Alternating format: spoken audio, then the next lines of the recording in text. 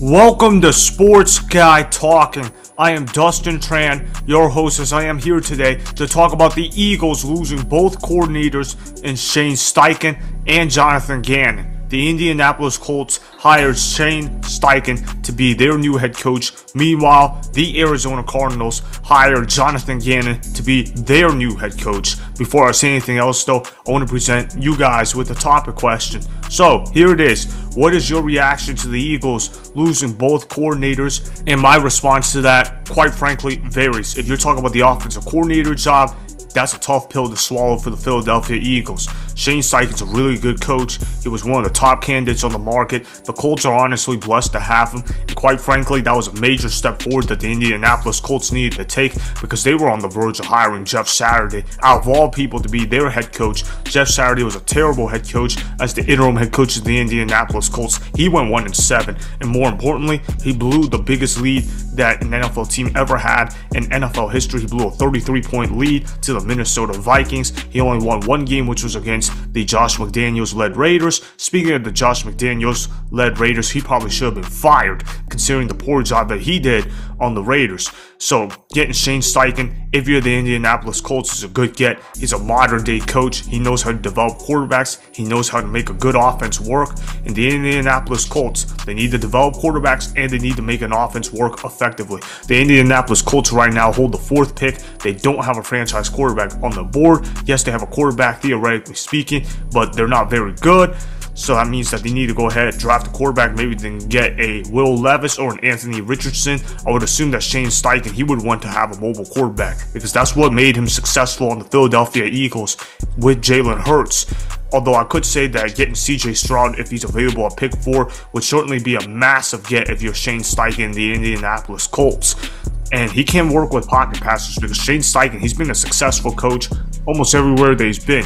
You look at what he did on the Eagles with Jalen Hurts, obviously, then you look at his work that he did on the Chargers, not just with Justin Herbert, but with Philip Rivers. Philip Rivers played some of his best ball late in his career because of Shane Steichen. And for Shane Steichen to develop both Justin Herbert and Jalen Hurts in this draft class, that's pretty incredible. So the Indianapolis Colts absolutely hit a home run. Is there a risk in hiring Steichen if you're the Colts?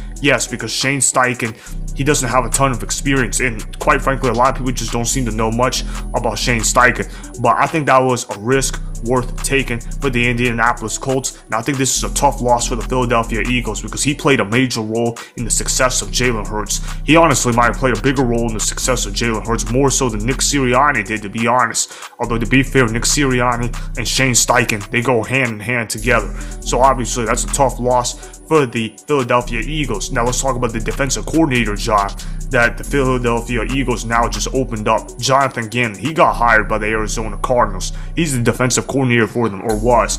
And honestly, this is probably a positive that the Eagles are losing this defensive coordinator.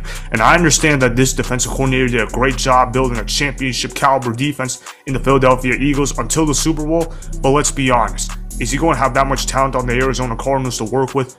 No, he's not going to have that much experience to work with. Who does he have on the Arizona Cardinals that he could build around the defensive side?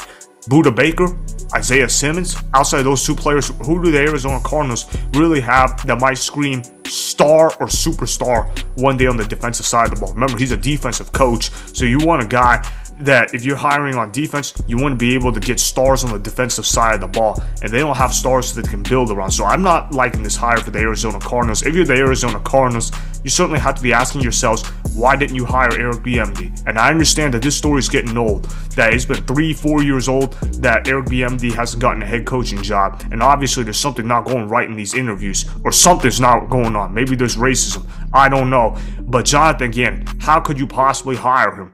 Why? Why would you hire him, Arizona Cardinals? Because let me tell you, the Arizona Cardinals, their offense is a mess right now. I mean, they got Kyler Murray, but he's hurt right now, and they need to figure out how to get Kyler Murray to play some of his best ball because clearly he's not a guy that can carry a franchise on his back. And outside Kyler Murray, they don't really have a ton of talent on that team because AJ Green just retired. It looks like DeAndre Hopkins is about to get traded from the Arizona Cardinals. This hiring is just a mess, and this honestly was a horrible hire for the Arizona Cardinals. I think that this guy is going to end up being Steve Wilks of this coaching cycle. And what I mean by that is that remember when Steve Wilks got hired in 2018 by the Cardinals, he got hired late by them, I think he ended up sucking in his one year as a coach. I think this is what's going to happen to Jonathan Gannon. I think he's a career coordinator. I don't think he has head coaching material in him. I'm not liking this hire for the Arizona Cardinals whatsoever. And who's to say he was actually even a good defensive coordinator for the Eagles? I mean, anybody could have looked good, quite frankly, when you got Fletcher Cox, you got Brandon Graham, you got Haason Reddick, you got Sweat, you got Hargrave, you got Gardner Johnson, you got Darius Slay, and you got James Bradberry. Yeah, I know that he held on the final play, but he was a good corner for most of the year.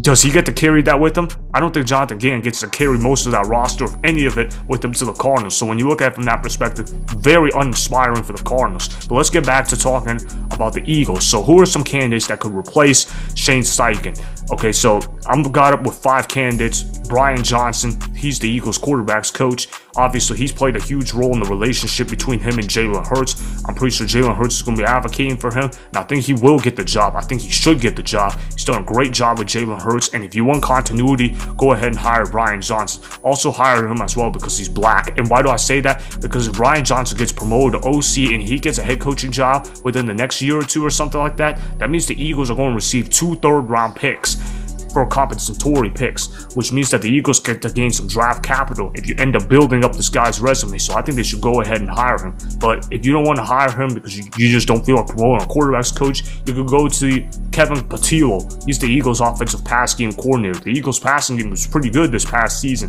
So if you feel like you want to promote him to a higher role, go ahead and do that. And some outside options to look at potentially. You got Joe Brady, Bills QB coach.